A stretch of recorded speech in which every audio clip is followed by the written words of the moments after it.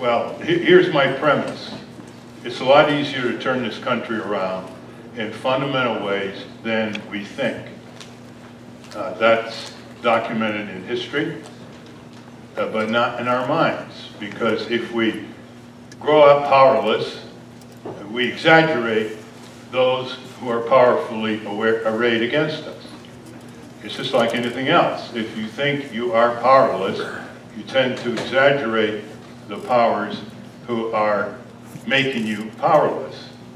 And that is an extremely important awareness that you should convey to your friends and neighbors and co-workers.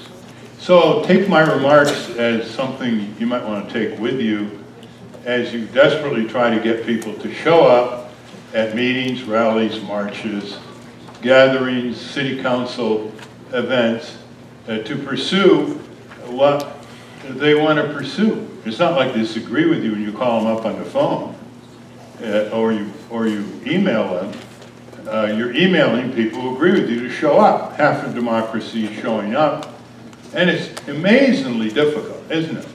Just to get people to break their routine and lock arms with you on pursuits of justice that they already agree with you on. Half of democracy is showing up, and it's amazingly difficult, isn't it? Just to get people to break their routine and lock arms with you on pursuits of justice that they already agree with you on. Okay, so that's a real problem. That's why I always carry my favorite denomination. This is a $2 bill. You should hand out $2 bills. Because on the back are the, the white males who gathered to write the Declaration of Independence and announce it on July 4th, 1776. Whatever you say about them, you know, some of them had slaves and all, they thought they were signing their death warrant when they took on King George III and the most powerful army in the world. Uh, so it was quite an act of courage for them.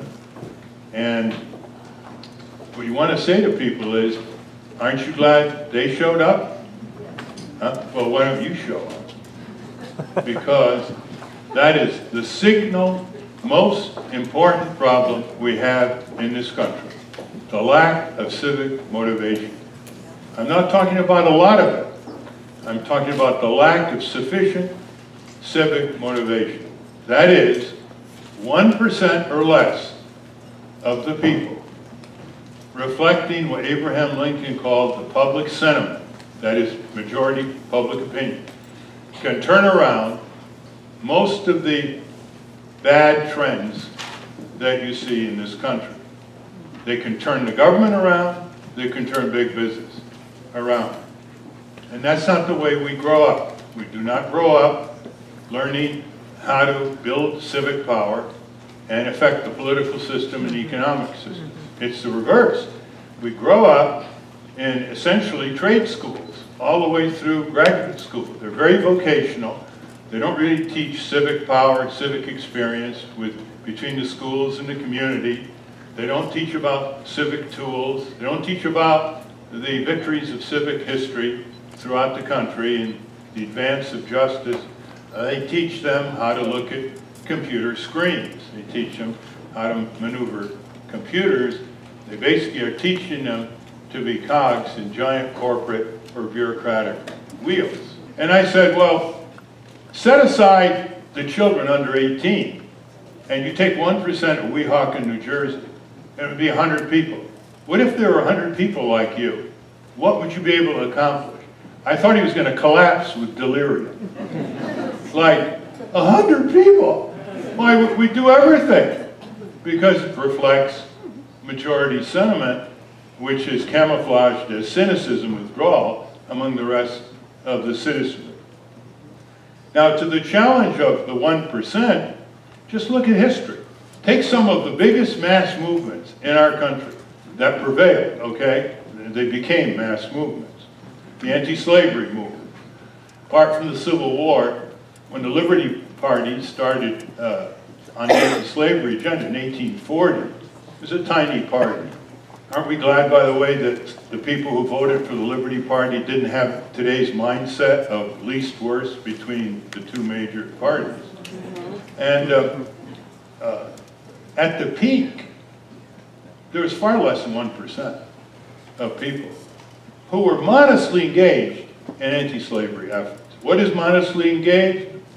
Let's say 100 hours a year in the abolition movement. 100 hours a year.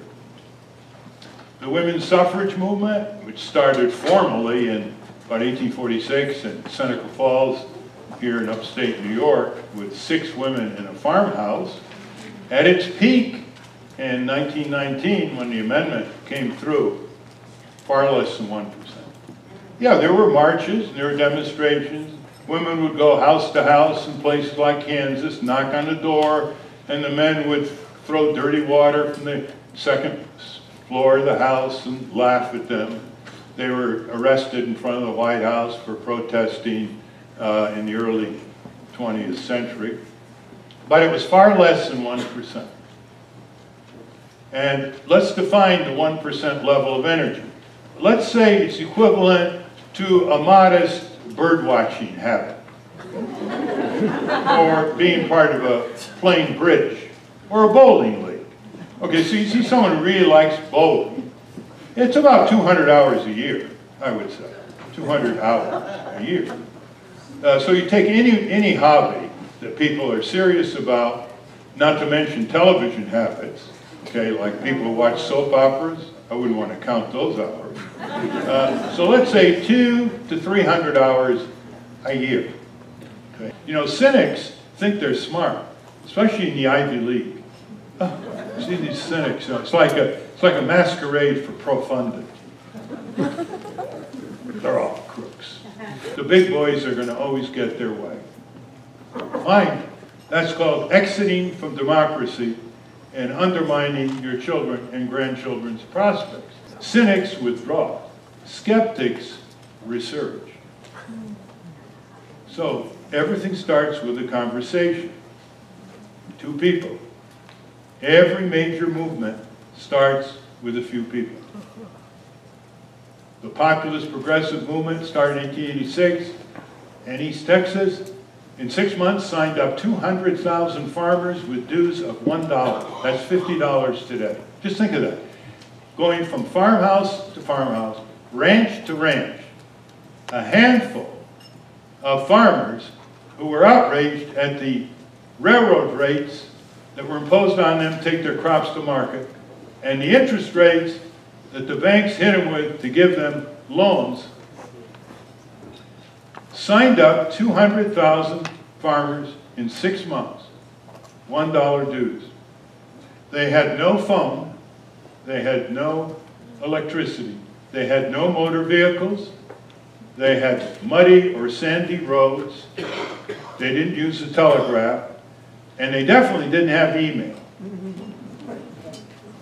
And then they galvanized the greatest progressive populist movement, reform movement in our history. They elected senators, representatives, governors, almost the president. They went from about 1886 to about 1913. What's your reaction to that? You want to know mine? Shame on us. We have electricity, we have telephone, we have internet, we have all of that. Maybe shame doesn't work with you. Certainly doesn't work with the young generation. That's what I'm told. Oh, never use shame. Well, you'd want to use guilt. That's worse. Freud is worse. But Jung, shame, give me another motivation. Your children, your grandchildren, posterity. That's what it is. Now, it is important to recognize that we have a huge left-right alliance potential here. All ruling classes divide and rule. So they divide left-right, blue state, red state, on things that they're really divided on. You know, reproductive rights, school prayer, something called over-regulation. But isn't it interesting that there are at least 24 areas, I put it in this book, 24 areas of convergence that there is public opinion backed by left, right. In some areas, they're going operational, that is, they're beginning to affect what candidates do. And in some areas, in, in our past, they've broken through and gotten laws enacted. For example, the Freedom Information Act of 1974 that we worked on. The companies fought that bitterly because they didn't want us to find out things that they were working inside closed doors with the government, like the Food and Drug Administration and so on, Defense, Defense, Defense Department. They lost because conservatives and liberals, they want open government. The auto safety bill that was in Congress passed unanimously in the House of Representatives, bitterly opposed by the auto companies and the auto dealers. They lost because there's no such thing as a Republican seatbelt or a Democratic airbag. People want to protect their families. Left, right, didn't matter. When you get away from the abstract generalities and ideologies, you go down to where people live, work, raise their family, empirical reality kicks in. How about this one? Try a left-right poll on the Patriot Act. You say to conservatives and liberals, uh, do you want your government to search your home and not tell you for 72 hours? Or to look into your medical and financial and other personal files and details uh, without probable cause? And uh, to arrest you under totally flimsy pretexts that the Patriot Act enables you to be arrested with? That's why Ron Paul is against the Patriot Act. That's why people in the progressive area are against the Patriot Act, left-right alliance. Juvenile justice, 15 legislators or legislatures have already passed because liberal and conservative lawmakers think it's crazy to put these kids behind bars for 20, 30 years and be caught with a little bit of marijuana or cocaine. Mm-hmm, mm-hmm, mm-hmm. And now that's spreading into dealing with the minimal sentence racket and filling the jails with nonviolent offenders. Half of the people in jail, and, you know, we have the highest number of people in jail per capita of any country in the world by far. They're in for drug raps or nonviolent uh, offenses. So you've got Newt Gingrich uh, with liberals and conservatives uh, going for prison reform. The right wing has another reason, because it costs the taxpayer too much to keep these people in jail for smoking a joint or whatever. Uh, but they're beginning to learn from the liberals that there are human rights aspects to it as well. We have to get over the yuck factor. I have trouble with my liberal progressive friends when I say, look, you got to team up with Grover Norquist because he hates corporate welfare. He calls it crony capitalism. Half of Washington is corporate welfare. Handouts, giveaways, you know, subsidies, Wall Street bailouts, loan guarantees, on and on. That's what, that's what modern corporate capitalism is. It's government guaranteed capitalism. It's not your local family-owned grocery store where they can sink or swim depending on how they deal with their customers. No, corporate capitalism uh, rarely goes bankrupt. If, it, if it's heading for it, they go to Washington and you bail them out. So corporate capitalism, that's the phrase we ought to use. Corporate capitalism. I mean, my father was a capitalist. He ran a restaurant, bakery, and delicatessen. The small capitalists, they don't have that much power. They have to meet you every day, look you in the eye, and there's reasonable competition until Walmart comes in. Uh, corporate capitalism is on the side Corporate capitalism combines the worst of commercial incentives with enormous power over government, over technology, over labor, and over capital. There's not much left, and a good deal over consumers. Corporate capitalism is so self-driven that if an individual behaved that way, the individual would be committed to a mental health institution. Mm -hmm. It's another way of saying we've got to start talking about institutional insanity. Like when GM obstructs for 60 years being toilet trained and keeps filling your lungs with nitrogen oxides and carbon monoxide. If an individual did that to make a few bucks, what would that individual be viewed as? And now the drug companies are basically saying, well, we charge you $4.70 for a pill, but it's going up to $47 because we have a monopoly patent.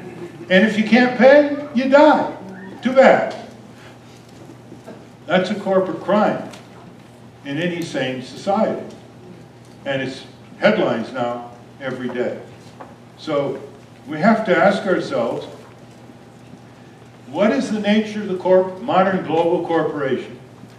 Why have we given it the authority to control us in a thousand ways when its very existence comes from being chartered by government? Financiers do not create corporations. Only the state of New York, Delaware, California bring corporations into existence, give them limited liability and other privileges. Then the financiers put the money in. So what we give them by way of charter, that's their birth certificate, we can condition.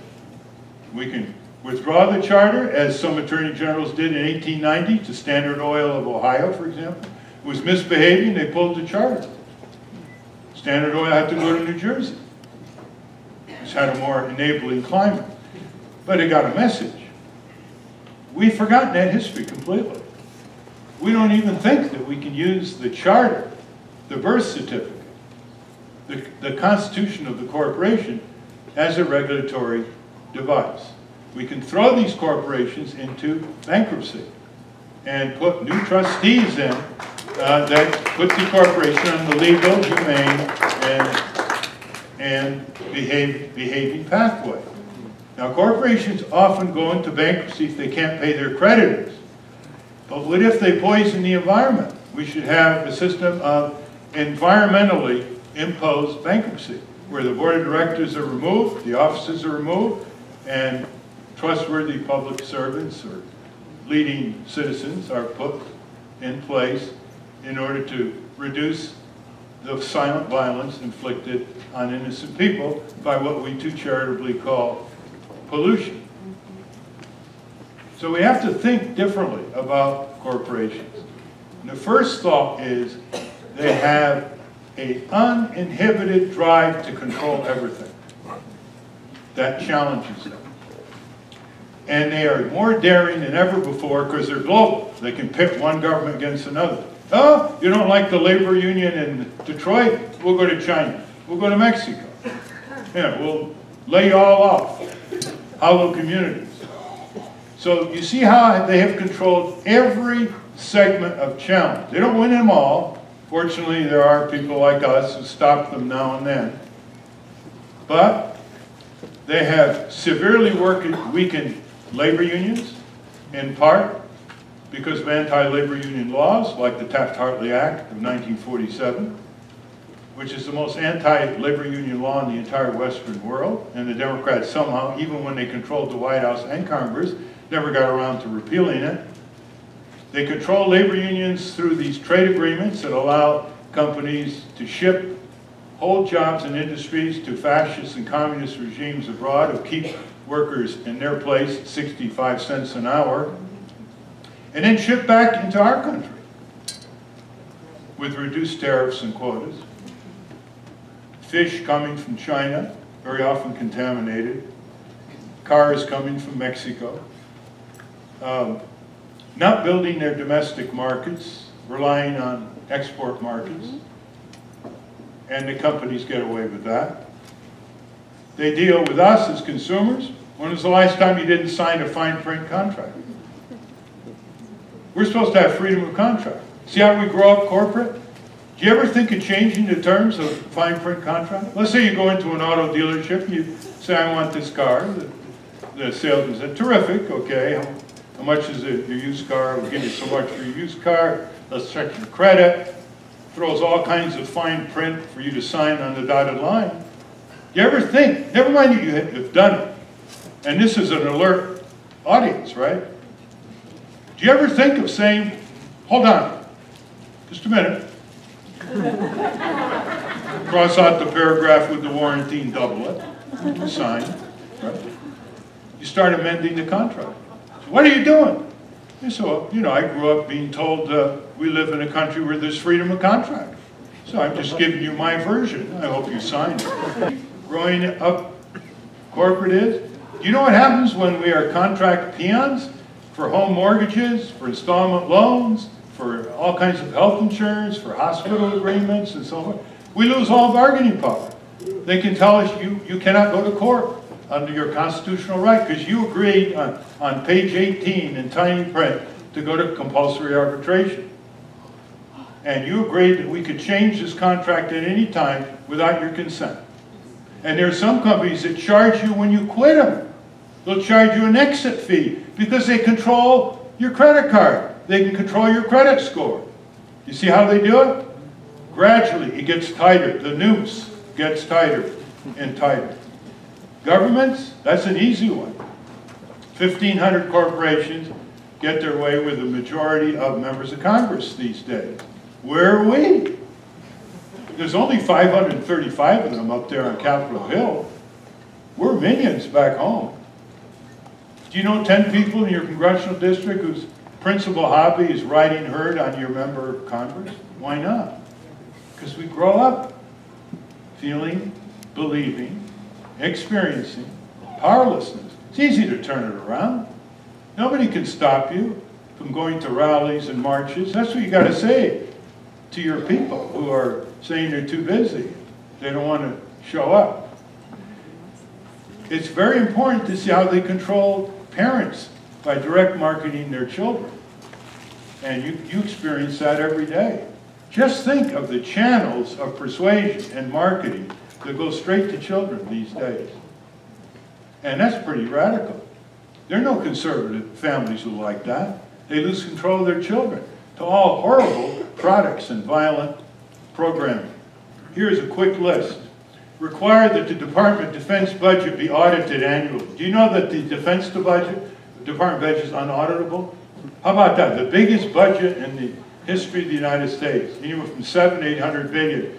They can't give the Government Accounting Office of the Congress data every year to be auditable. No wonder they lost $9 billion in the first five months in Iraq. Where is it? $9 billion? We don't know where it is. What? You know, a couple billion here, a couple billion there. That's up to real money after a while. Immediately fund 100 full-time lobbyists to go up on Capitol every day. They get to know everything, staff, vulnerabilities, connect with the grassroots, get the procurement arm of the government to to uh, put bids out for sustainable products instead of polluting products, uh, and so on. Not interested.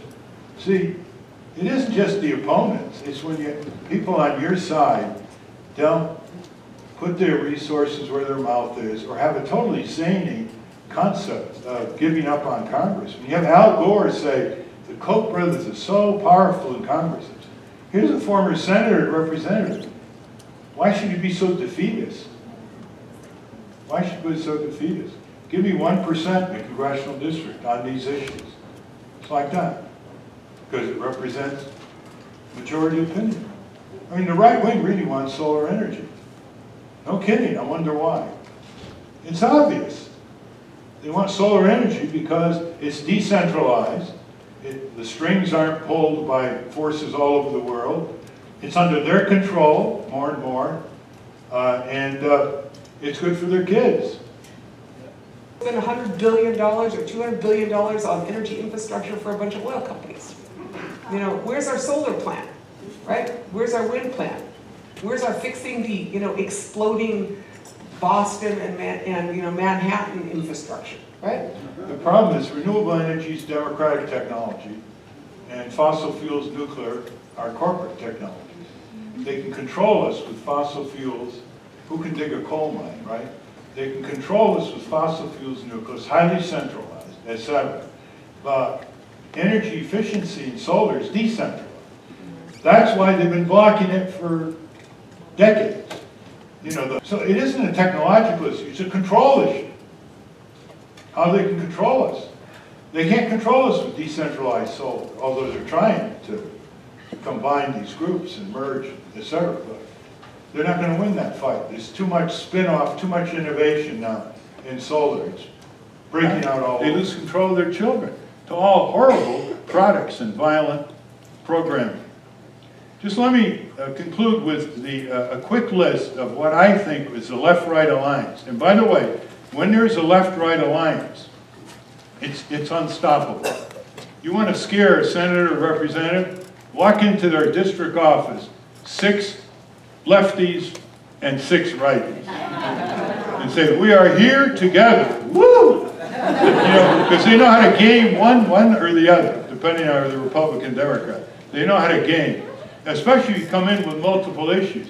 One way to lose your influence over a candidate for public office is to just be a single issue candidate, because they know how to game the single issue. They'll either say, yeah, I'm all for you, or I'm sorry, I'm not. But if you give them like 10 issues, you, you overcome them with cognitive dissonance. They don't quite know how to deal with you.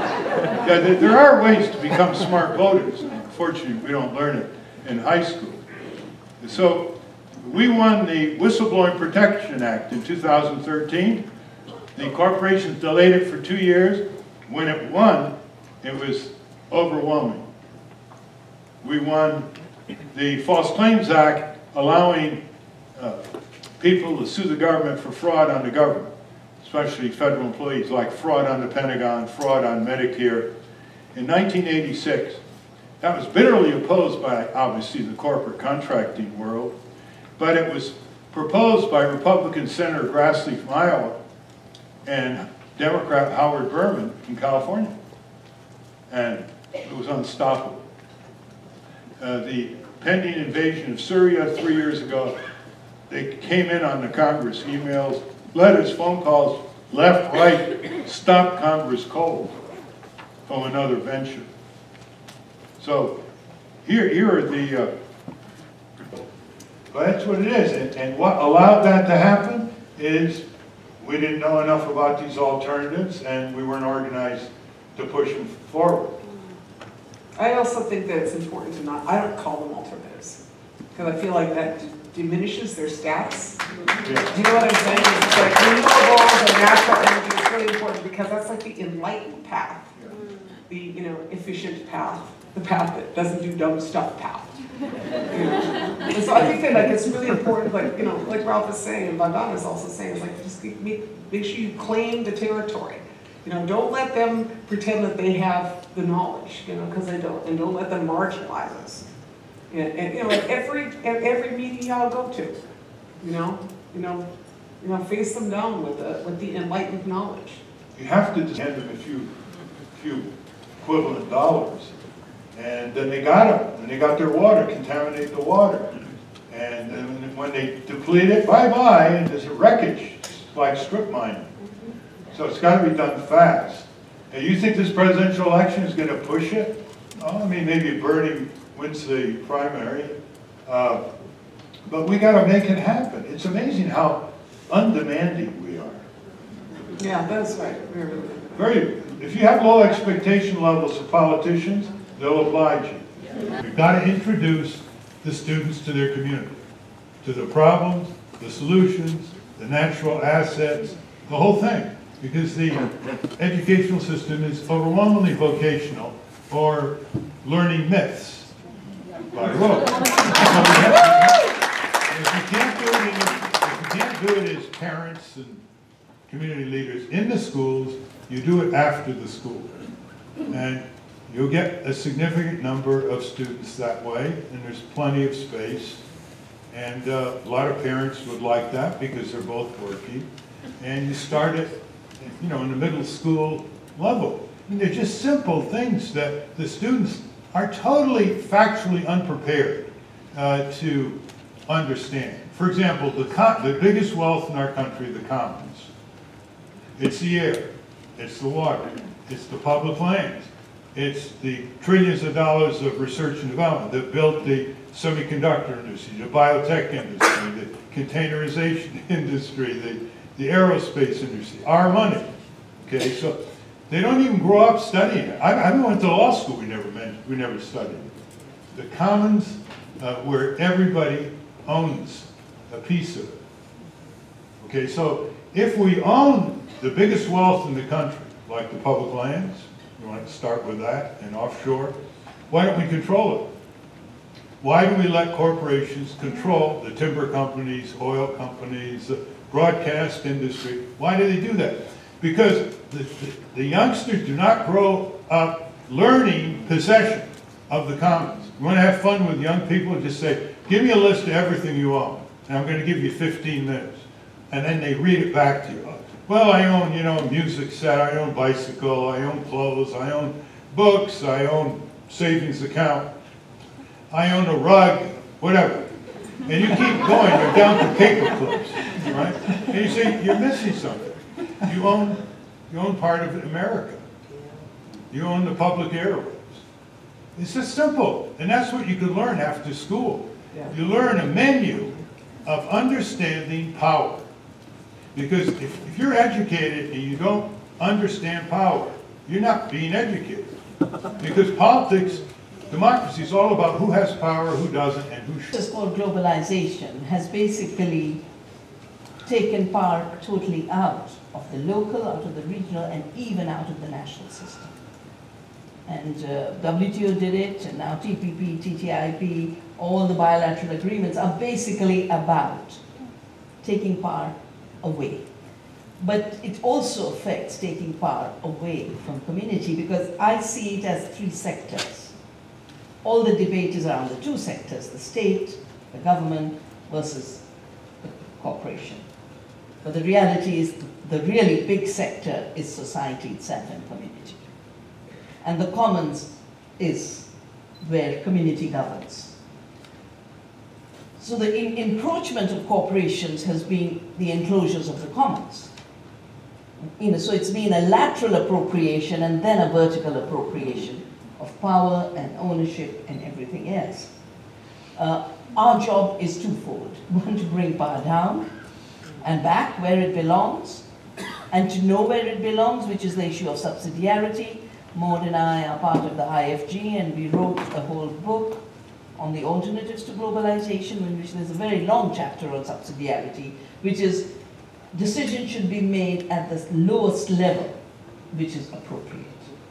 So defense is national, but growing food should be local. It shouldn't be part of global free trade agreements. Taking care of your watershed should be local, shouldn't be part of free trade agreements. But the other is this horizontal recovery of the commons. And I've been engaged in my country of shaping new laws, where we do shape laws, and they're implemented at a national level, but they're about recognition of the highest authority at the local level. And that's something that's usually not seen. That even to reclaim local power, recognition at a national level or at a global level uh, is a vital step. So there are two laws that are protecting our indigenous people right now.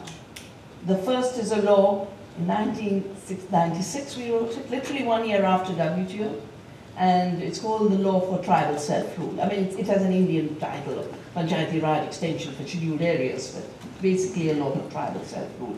And that is what kept the tribals empowered to fight the coal companies, the mining companies. And of course, they've come back with brutal force, and these zones are now militarized. The second law was a forest rights law, basically saying the, the British and the imperial powers treated the forests as theirs, but these belong to the people. And, and the ancient communities have the first rights to decide what will happen to their forests. And on the basis of this law, two of the biggest projects of global investment have been shut down. One is called Niyamgiri, which is a bauxite mining by one of the biggest mining giants now. Um, means the mountain which upholds the sacred law, and one of the most ancient tribes which has deliberately stayed as a forest culture. And they use this law. I mean, they use resistance and non-cooperation, but they also they use the law.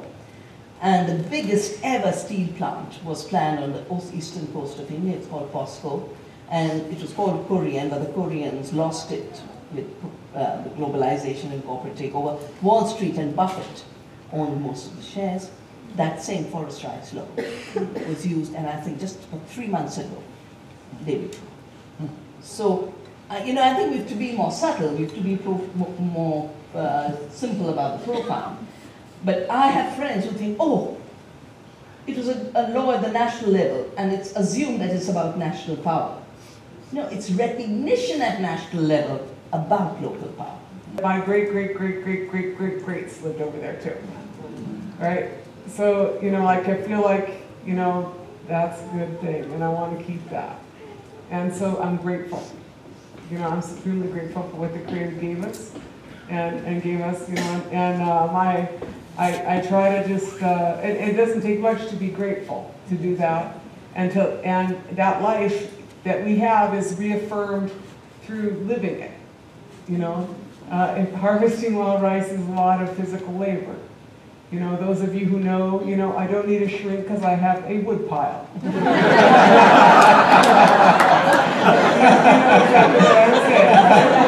know.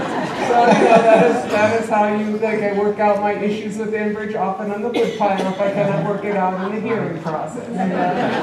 You know, so that, that is, that is, that is how I do things. And my, my father used to say, um, he passed away many years ago, but he used to tell me, Winona, I don't want to hear your philosophy if you can't grow corn. and so that is the other thing I do, and this year was my best corn crop ever. Right from the get-go, I couldn't stand bullies. Right when I was four years old, five years old, uh, or when I was older, I'd see a fifth grader beating up a third grader.